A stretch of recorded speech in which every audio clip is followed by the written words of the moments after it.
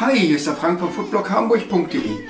Wir wollen heute mal ein neues Video machen, beziehungsweise ein neues altes. Wir machen heute, weil es bei uns gestern in der Firma aufkam, die Frage, schmeckt das überhaupt, kann man das überhaupt machen?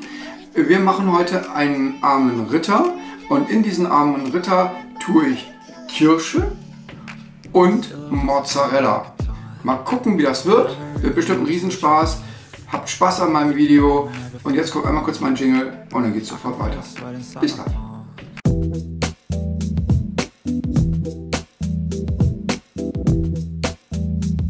Also ein paar Sachen zusammengetragen, die wir halt brauchen.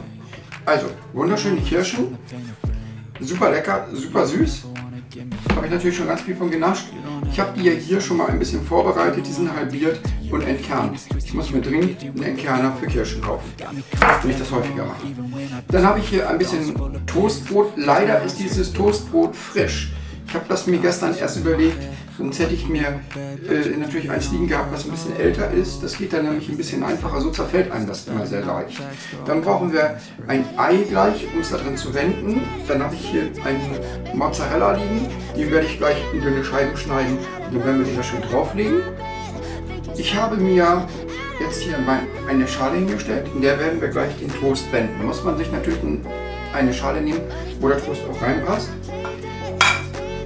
Wenn man etwas älteren Toast hat, kann man auch außen an dem Toast zum Beispiel die Rinde wegschneiden. Das sieht auch ganz elegant aus. Ich lasse das aber, sonst fällt mir mein Toast komplett auseinander. So, ein Ei. Wenn man mehr machen will, natürlich mehr. Aber dadurch, dass ich ja alleine lebe, nur noch ein Ei. Das schlagen wir jetzt ein bisschen auf. Dann kommt da rein noch ein bisschen Milch. Kann man auch Milchersatz nehmen. Muss nicht unbedingt Kuhmilch sein. Für alle die, die sagen, nein, ich will keine Kühe, das finde ich nicht gut und Kühe werden schlecht gehalten. Habt ihr völlig recht. So, das schlagen wir ein bisschen auf. Dann kommt da rein noch ein bisschen Salz und ein bisschen Pfeffer. Mein Teppanyaki Feld ist hier schon am Vorheizen. Ich habe das jetzt mal so auf 170 Grad gestellt. Ich glaube 170 ist ganz gut. So, jetzt haben wir ein bisschen Pfeffer und Salz schon mal drin. Das ist schon mal ganz cool. Jetzt werde ich das noch einmal kurz ein bisschen aufschlagen und dann müssen wir warten, dass mein Feld hier heiß ist. Ich habe jetzt hier so ein bisschen Basilikum. Das möchte ich da noch drauf machen. Ich, find, ich glaube, dass das wird ganz geil. Das werde ich jetzt klein schneiden. Ja, meine Platte ist hier auch heiß. Ich werde jetzt mal eben schnell das Basilikum hier klein schneiden. Dann schneide ich mir den Mozzarella auch in dünne Scheiben. So, wunderbar. Da gehen wir noch mal kurz so durch ganz so riesige Lappen sind. Das finden wir ja nicht ganz so geil. Jedenfalls ich nicht. Ich kann nicht von euch allen reden. Ähm, wo ich ja gerade so am, am, Machen bin, äh, wem mein Channel gefällt, wäre richtig geil, wenn ihr den auch abonnieren würdet. Ich schneide jetzt mal eben die Mozzarella runter. Ähm, abonnieren bedeutet für mich natürlich auch eventuell ein bisschen mehr Kohle. Daumen nach oben bringt mich auch weiter nach vorne im Algorithmus bei YouTube. Und dadurch, dass ich jetzt alleine lebe und natürlich demnächst auch Unterhalt zahlen muss, an meine zukünftige Ex äh, bin ich natürlich auch nicht mehr ganz so gut finanziell aufgestellt. Von daher wäre es ganz toll, wenn ihr mir dadurch ein bisschen helfen würdet. So, wir tun uns jetzt hier ein bisschen was an Butter auf mein Teppanyaki Grill. Ich mache das immer gerne mit Butter, das finde ich ganz cool.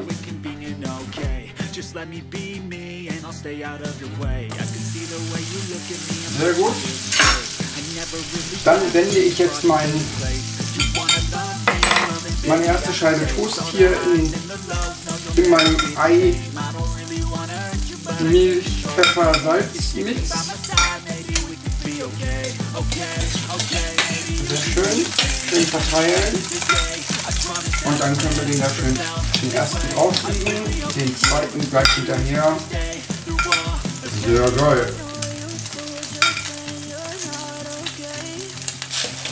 So. Das lassen wir jetzt von der einen Seite so ein bisschen anbraten. Ich habe mir so ein neues Objektiv gekauft. Das ist eigentlich so ein Standard Sony Objektiv. Boah, das sieht schon mal sehr gut aus. So ein Standard Sony Objektiv, was ich mit der Fernbedienung auch hin und her fahren kann. Und ich habe so eine kleine Fernbedienung. Die nervt mich auch schon. Ich habe auch das Original in Grömitz liegen. Ich habe jetzt blöderweise nicht hier. Ich filme auch gerade mit meiner kleinen Kamera, leider, und nicht mit der großen. Aber das neue Objektiv, das ich gerade ziehen will, das nervt so scharf hin und her herum, weil das blöde Objektiv mir alle zwei Sekunden erzählt, ah, ich bin nicht richtig konnektiert, beziehungsweise die Kamera da die ganze Zeit rum. Das ist auch obernervig. So, nee, einer geht. Einen tun wir dann noch mit drauf. So, dann wird das gleich zusammengefahren. Aber erstmal brauche ich jetzt meine Kirschen. Also Mozzarella drauf. Dann schön die Kirschen da oben drauf. Oh, sieht das cool aus. Ja. Sag mal, wo ist denn der Sommer geblieben? Das ist ja hier richtig ätzend. Heute beim Einkaufen habe ich schon wieder einen nassen Hintern gekriegt. Das bringt ja gar keinen Spaß hier gerade, oder? Also, ich finde das doof. Morgen habe ich schon wieder strammes Programm. Morgen will ich nochmal wieder Burger machen, weil ist ja Wochenende, ist Burger Time. Und dann muss ich natürlich, ah, ich habe was vergessen. Das kommt, wenn man die ganze Zeit quatscht, ne? Die ganze Zeit am Quatschen ist. Ich mache da jetzt noch so ein bisschen Basilikum drüber.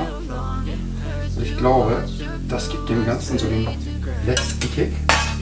So, jetzt aber. Flup, flup. Den da oben drauf.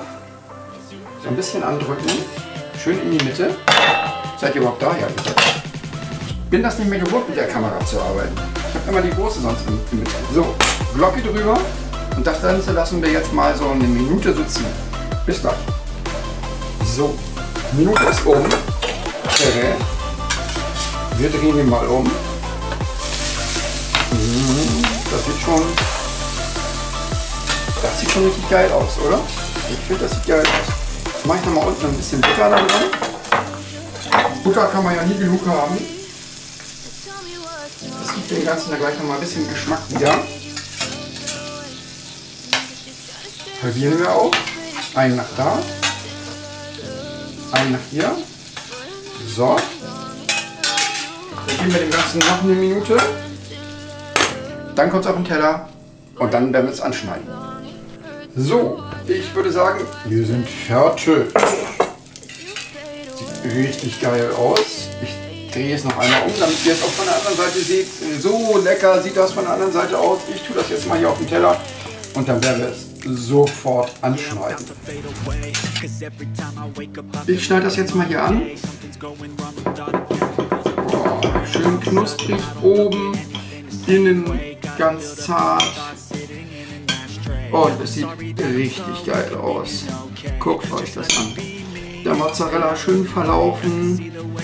Mhm. Ich probiere das jetzt gleich mal an einer Ecke und dann werde ich es euch gleich berichten. Ich probiere das jetzt mal. Mmh. Oh, oh, oh. Ich sofort weiter. Ich hätte ein bisschen mehr Kirsche noch drauf machen können, aber dieser Geschmack ist schon richtig geil. Diese süße Kirsche da drin mit diesem Mozzarella, das Basilikum ist auch schön da. Schön Pfeffer und Salz mit unserem äh, Toast gehabt, den wir dann gewendet haben in dem Ei. Richtig geil, schön kross geworden, das ist richtig lecker. Macht es nach, es lohnt sich wirklich. Auch wenn die Kirschen mittlerweile vielleicht ein bisschen teuer sind. Richtig geil. Das war's schon wieder, unser schnelles, kurzes Video. Ich hoffe, ihr seid wieder mit dabei. Beim nächsten Mal gib mir einen Daumen. Vergesst nicht die Glocke oben anzumachen, damit du keins meiner Videos verpasst. Solltest du noch nicht Abonnent sein, abonniere mich gerne. Ich freue mich wirklich darüber. Und das sagt Tschüss, der Frank vom footballhamburg.de. Bis zum nächsten Mal. Das geht verhältnismäßig schnell. Ich habe jetzt mir überlegt, dass ich so ein bisschen das Tempo erhöhen will. Also es wird jetzt nicht nur ein lahmes Video in der Woche geben, sondern zwei lahme Videos in der Woche. Ich wünsche euch was. Bis dann, euer Frank. Ciao, ciao.